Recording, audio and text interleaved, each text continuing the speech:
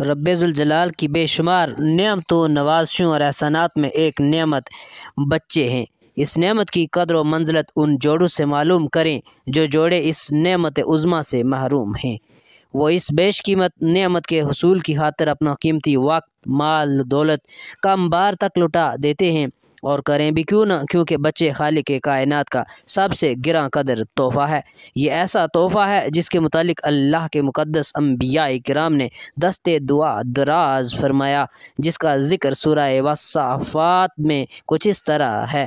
الہی مجھے نیک اولاد دے، اللہ کا فرمان علی شان جاری ہوا، تو ہم نے اسے خوشخبری سنائی، ایک لائق عقل مند لڑکے کی وصفات۔ یہ بات روز روشن کی طرح عیاں ہو گئی کہ اولاد مالک کی کائنات کی دی ہوئی گراں، بے ہا، بہا نعمت ہے۔ لیکن یہ بھی مسلمہ حقیقت ہے کہ جہاں اولاد ایک عظیم عطیہ ہے، وہیں یہ آزمائش اور امتحان بھی ہیں۔ چنانچہ اللہ تبارک و تعالیٰ نے قرآن کریم میں اس عمر کی نشاندہی کچھ اس طرح فرمائی ہے۔